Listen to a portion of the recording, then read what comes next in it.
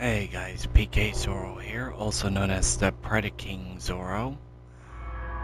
And I'm sitting here looking at a challenge I finally completed on my own. Not, well, it is called Triggering the Klownpocalypse early three times. Would you have to get it before the five minute mark? Truth be told, it is not easy. You want you want one certain condition met on that. You want somebody fast. you know, yeah, stamina is not the best, but you want to be at least level 50 because you want the brawler class. Because if you notice the other clowns, their movement speed is nothing compared to his even down to the ranger. It's like he's got decent. So does the trapper. But the brawler just has the best movements uh, speed out of all of them. So this is going to be a no killing humans Klownpocalypse run. Yes, I know I need to work on survivors, but I don't have time. To go into the amusement park. And there's a reason. Oh, and uh, just so I don't forget, uh, hit subscribe button if you're new and smash that like, guys. If you think I deserve it, because this took a while to get.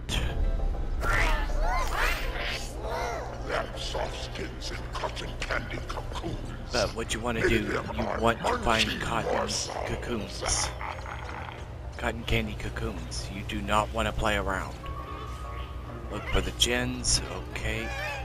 Not the best spawns, not the worst. In fact, I had I had worse spawns than this earlier. What you want to do, you want to start just cocooning gens immediately.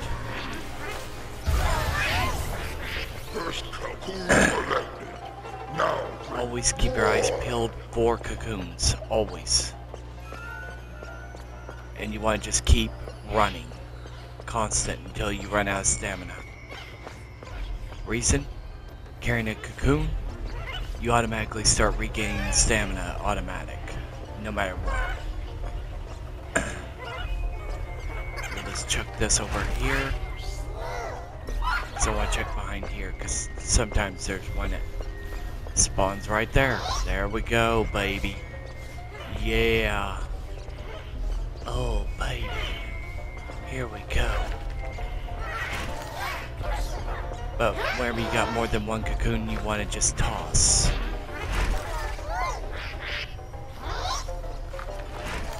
Don't run with them. You know, just chuck them when you get them over to it. Hook.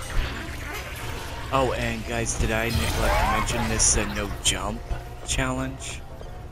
And sorry if my TV's a little loud. I have to keep it loud because if I don't, I can't hear anything. And there's a reason I just don't want to tell, okay?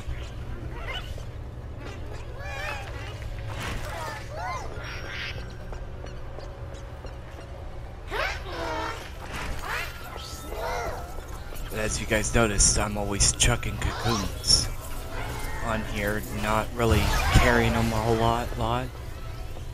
Because that's the way you gotta do it, you gotta chuck them. You want that extra time.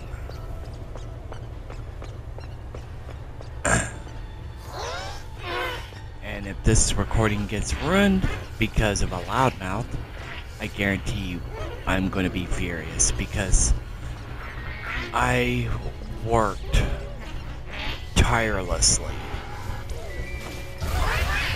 on perfecting this so much that I've got it down almost to a T perfect. But you don't worry about any of the people on here whatsoever. So, as far as people goes, you don't have to let them bother you. Just go on about your business.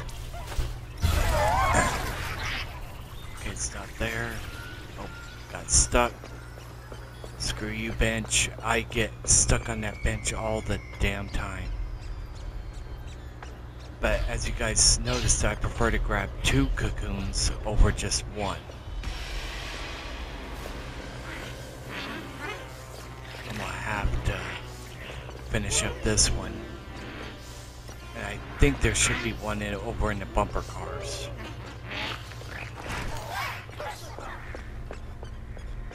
Yep. Normally they're...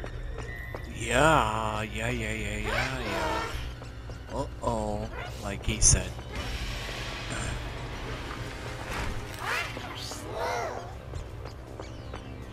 But yeah, you just want to chuckle a lot of times because that way you get your speed up and you can speed across the map. Now don't chuck them too far because then you'll screw up and miss.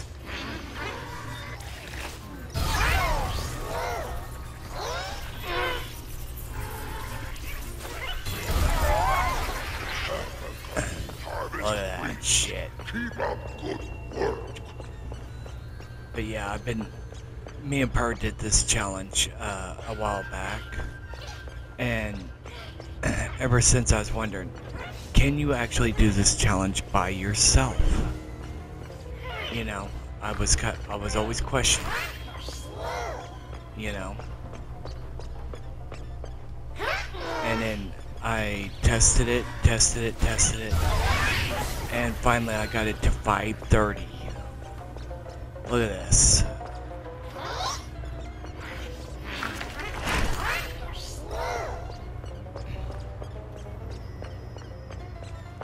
We want to go see if we can find another cocoon also. That way we just for forge in it and not have to worry so much.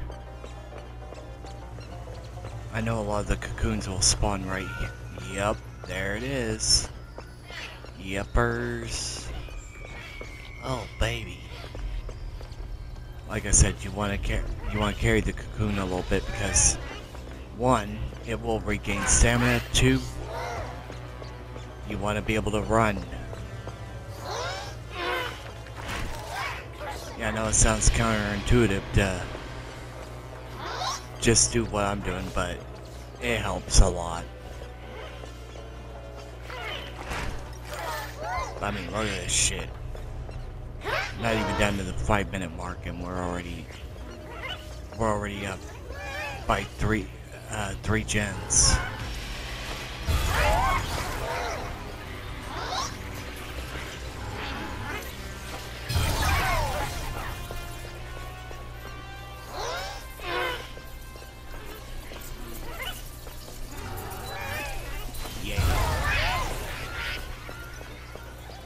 On to the next one. And the next gen should be over this way.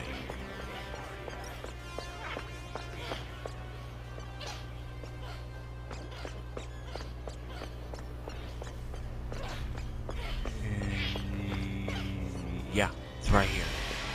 Up near the arcade. Which there's a lot of cocoon spots also up in here. One being back there.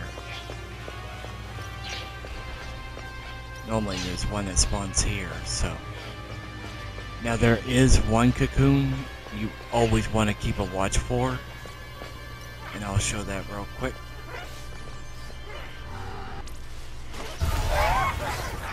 It spawns indoors, which is always in here. Didn't spawn there this time, that's fine, that's fine. Let's just go.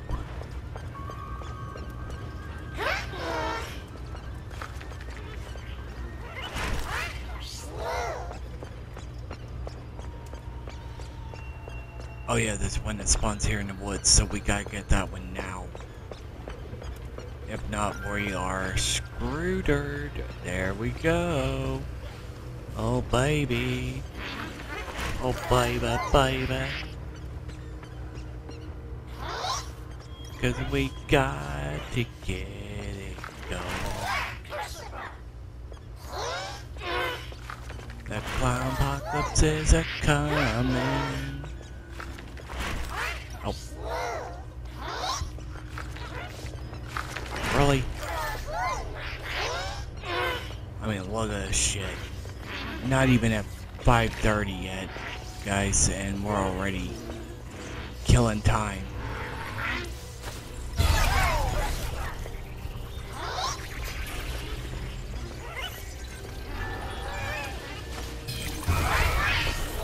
I found doing a lot of the challenges against uh, bots, you actually get them done really quick. And there we go. So, play around.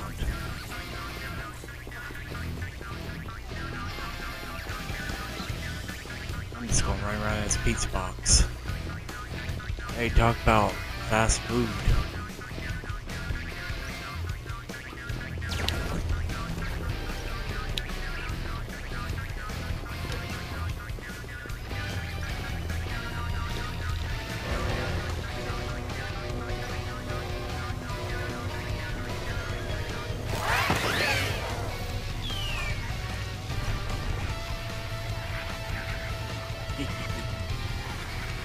Let's sit here and robot. Watch people get their asses whipped because it's inevitable.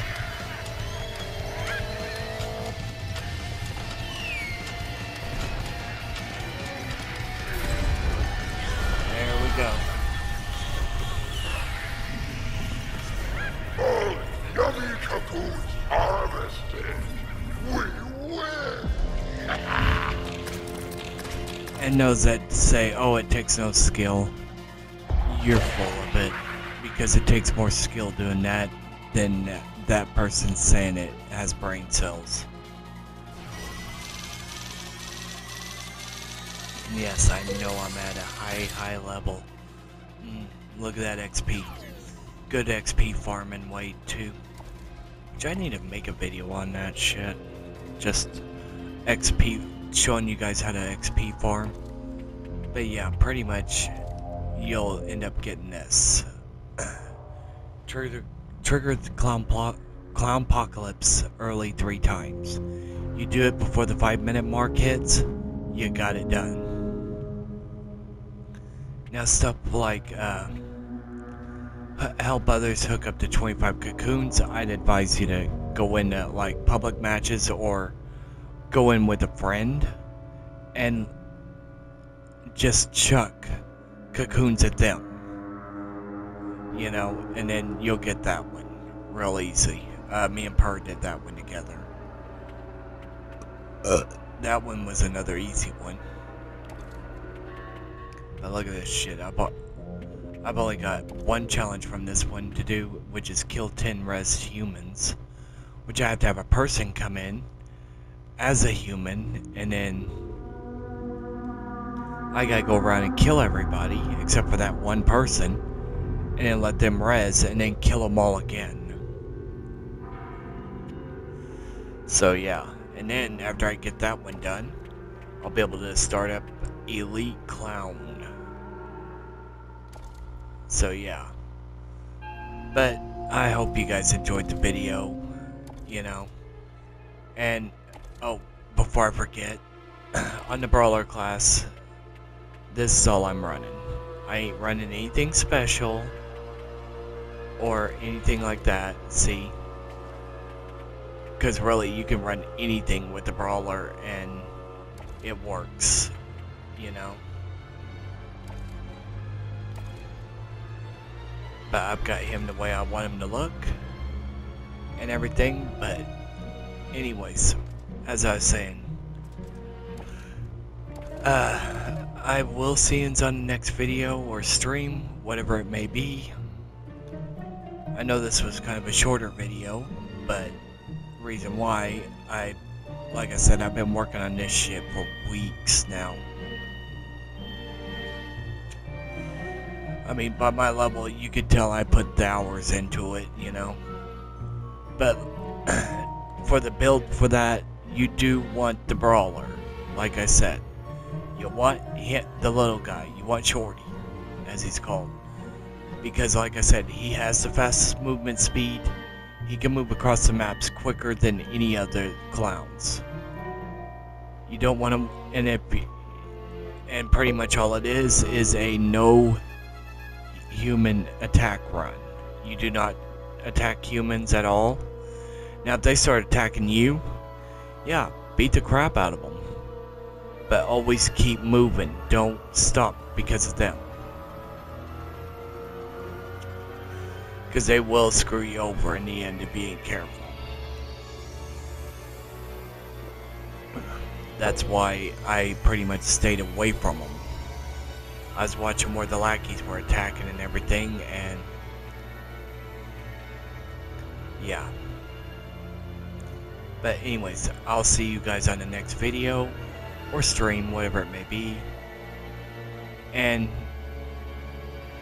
remember to hit the thumbs up, guys. Even Shorty's telling you, to look at that shit. He likes he likes it when people hits that thumbs up. And all the haters, he tells them to quieten up. They don't know what they're talking about. Why? They stinky. Later, guys.